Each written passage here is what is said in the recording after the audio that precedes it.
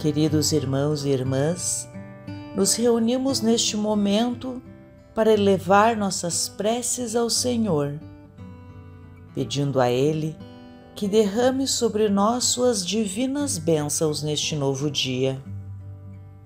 Neste momento de oração, somos envolvidos pela graça de Deus, que nos convida a abrir nossos corações para receber Suas palavras de sabedoria e amor.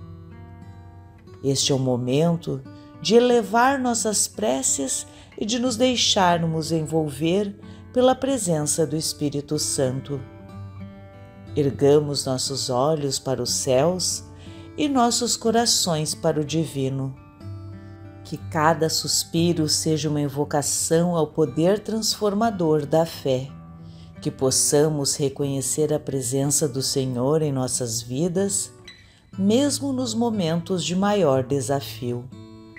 Nosso Pai Celestial, em Sua infinita misericórdia, nos acolhe em seus braços amorosos, prontos para nos guiar através das tempestades e dos desertos. Em meio às lutas e às provações, encontramos refúgio na presença do Altíssimo. Ele é nossa rocha, nossa fortaleza nossa esperança. Que possamos nos render completamente ao seu cuidado, confiando em Sua promessa de que todas as coisas cooperam para o bem daqueles que o amam. Que nossa fé seja firme como as montanhas, inabalável como as rochas diante das ondas do mar. Ó Deus Todo-Poderoso, em tuas mãos depositamos nossas vidas, nossos sonhos e nossas angústias. Sabemos que és o Deus que tudo pode, que és o mesmo ontem, hoje e eternamente. Que tua luz divina nos guie em cada passo, em cada decisão, para que possamos caminhar segundo a tua vontade. Liberta-nos, Senhor, de todo mal de toda tentação, de toda opressão. Que o poder do teu nome seja a nossa proteção e a nossa fortaleza.